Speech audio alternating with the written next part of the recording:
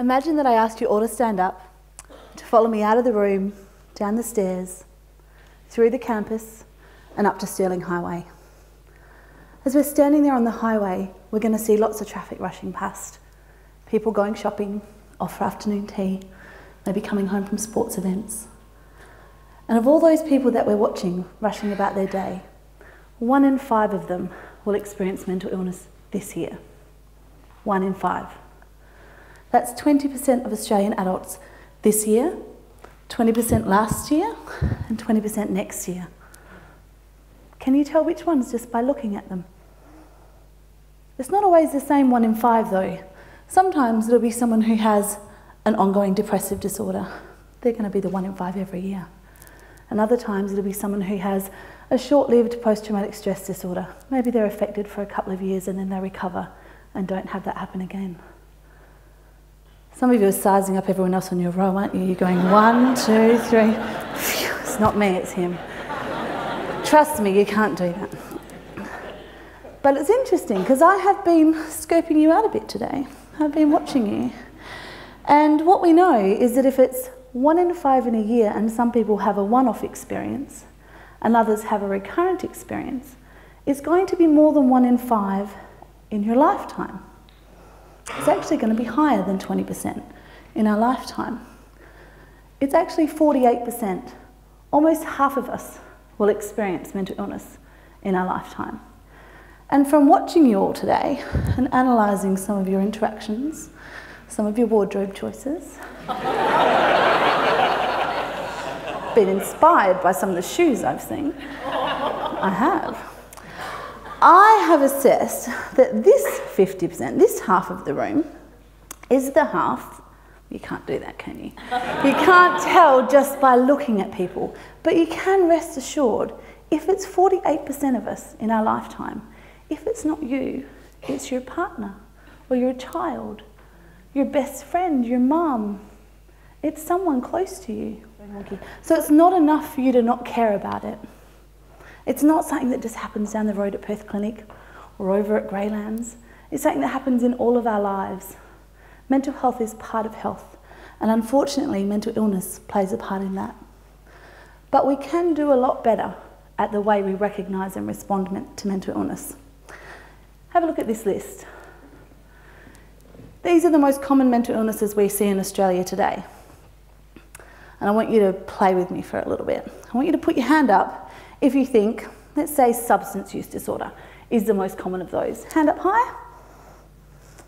Hmm. A couple of you who might want to think about why you think that. Maybe it's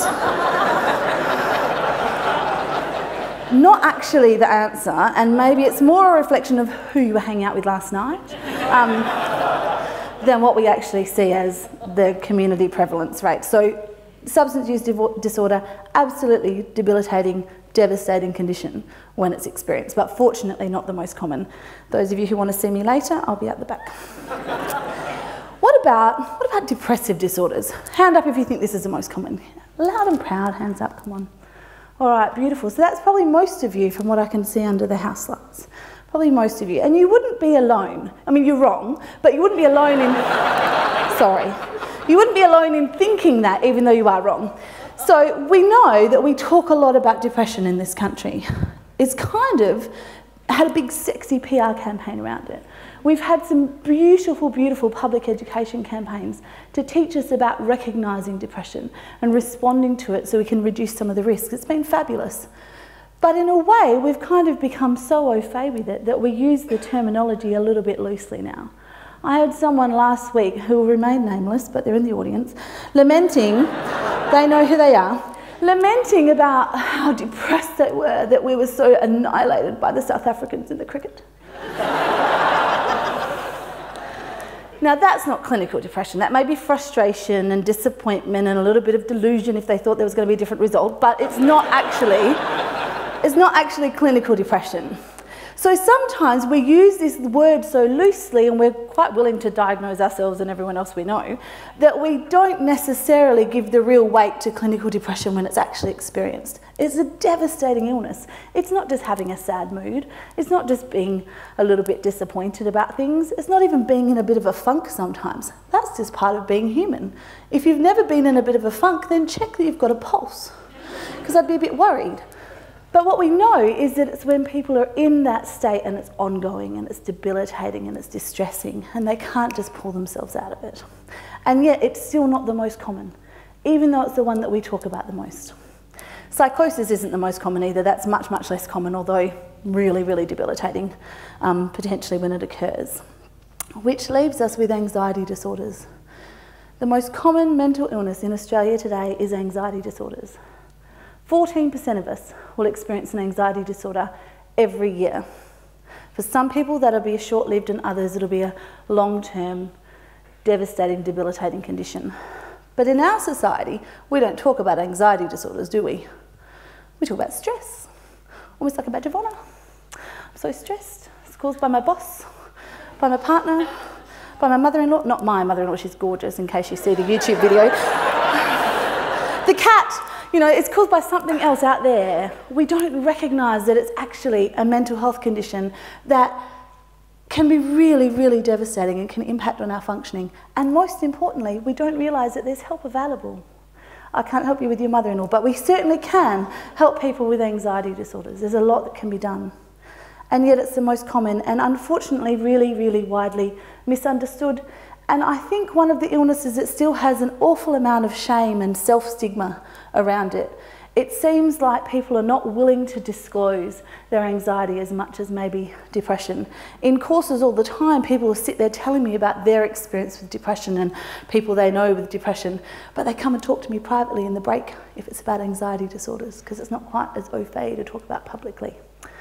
I was doing a mental health awareness session down in a small country town earlier in the year and this bloke walked in and much like many of the blokes in this organisation walked in with his steel cap boots, his reflector jacket and his hard hat.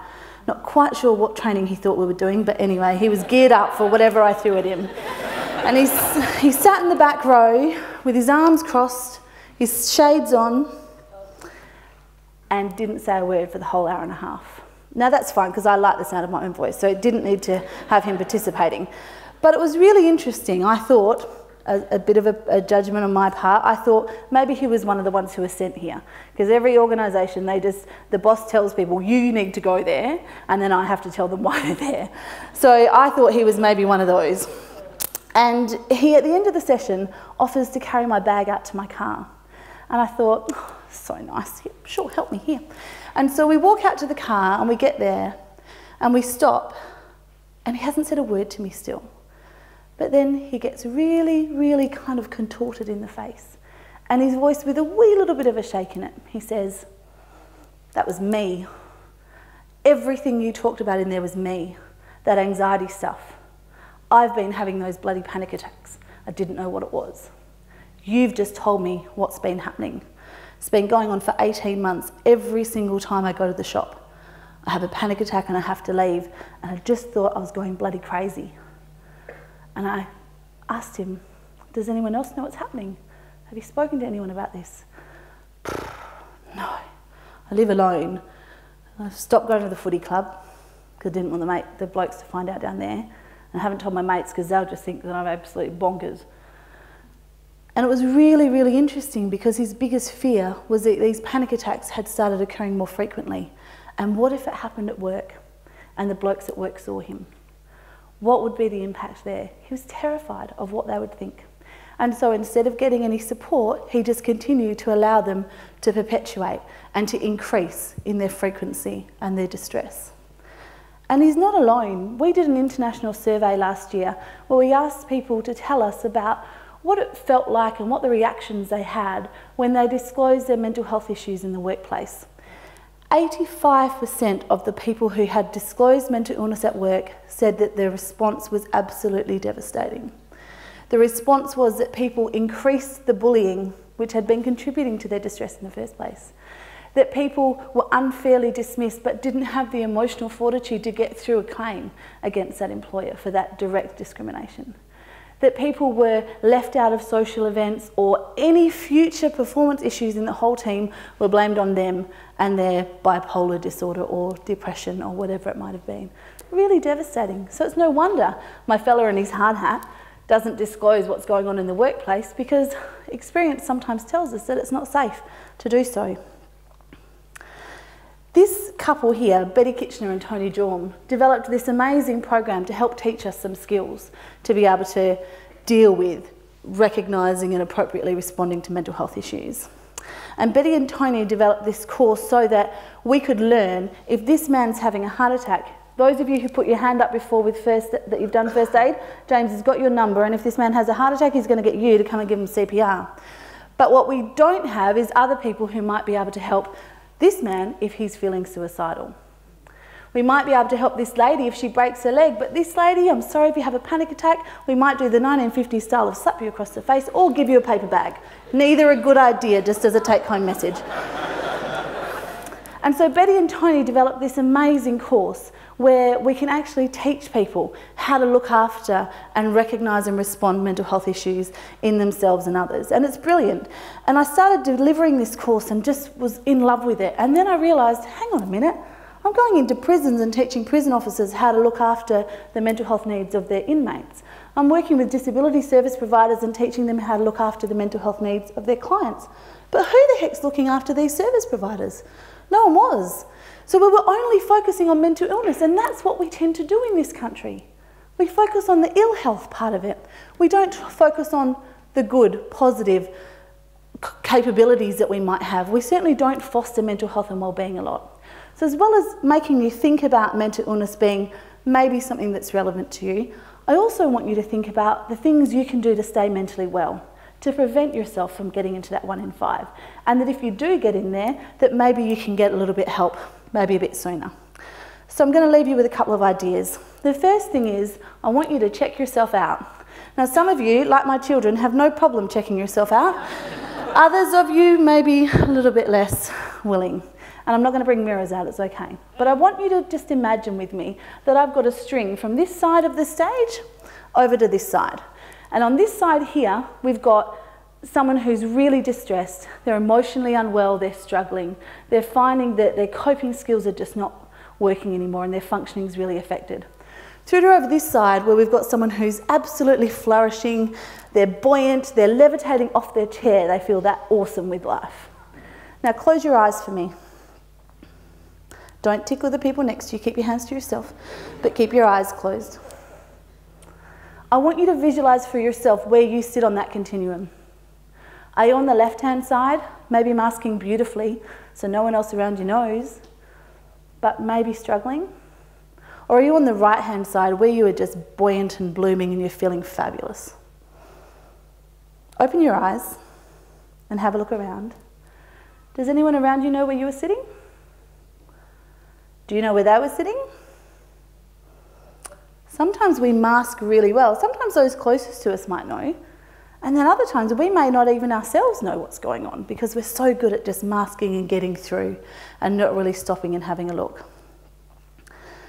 What I want to encourage you though is that if you were sitting on this side or somewhere on the continuum where you're not quite happy with, get some resources. Don't just be like the hard hat fella and sit there and worry and let it ruminate and get worse. Actually get some help for yourself.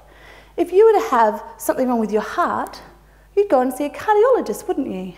If you'd have something wrong with your eye, you'd go and see a ophthalmologist or something that does something with eyes. I hope that wasn't a bug person. You'd go and see an eye person, wouldn't you? They might help you as well, you never know. But you'd go and see a specialist, an expert in the area. And yet with mental health, we tend to just think, no, I don't know, it's a bit awkward, I won't talk to anyone, I'm not sure, they might just give me medication and lock me up. We have this stigma that we put on ourselves, let alone anyone else putting it on us. You don't have to wear it on your sleeve and let everyone know. It's not, well, this is how I'm feeling today. It's not colour coded. It doesn't have to be everyone else's business, but surely it can be yours, and you might need to just get the resources to help you with that. The next thing is to get some balance. So we hear a lot about this elusive old idea of 888, so eight hours of work, eight hours of play, eight hours of sleep a day. And balance is one of the big issues that people keep telling me is causing their anxiety and their distress. I have a bit of a slight, I guess, change on that formula. Ours is to bloom, you want to focus your time and your positive attention in the areas of your life that are underscored by your values. Do you know if you've heard Freya Madeline Stark? She's got some amazing work. She says there can be no success or happiness if the things we believe in are different from the things we do. And I think that that might be a really interesting nugget for us to sit and think on in terms of the idea of balance and, and getting some emotional well-being back in our lives. The next idea is to find four. So to actually find four positive nurturing things for yourself every week as a way of enhancing your positive mental health and well-being. Some of you are going, four in a week? Oh, I haven't done four all year. Some of you might go, four in a week? I've done four in a day. That's all right. It's just about finding four. The next thing is to wake up. To not just wait for those two days a year that we stop and think about how we're going. You know those two days. One of them's coming up. New Year's. Someone said Christmas. It's not Christmas. We're just consuming on Christmas. Presents. Oh, at least at my house. It's New Year's, New Year's Eve or day, depending on how much of a big one you're going to tie on, right? But around New Year's is when we stop and go, the year that was, how am I going, how am I travelling? And then the other day is your birthday. Instead, I'd encourage you to actually stop, check yourself out ongoing, wake up to your mental health and well-being. You're the only one that can do something about it. So I'd like to leave you with two ideas. Firstly, show compassion for others who are experiencing emotional and mental distress. You never know when it might be you or someone that you love. And secondly, and really importantly, start with compassion for yourself. Look after your mental health and well-being proactively. Don't just passively accept, expect it to happen to you. Take charge. Bloom. Thank you.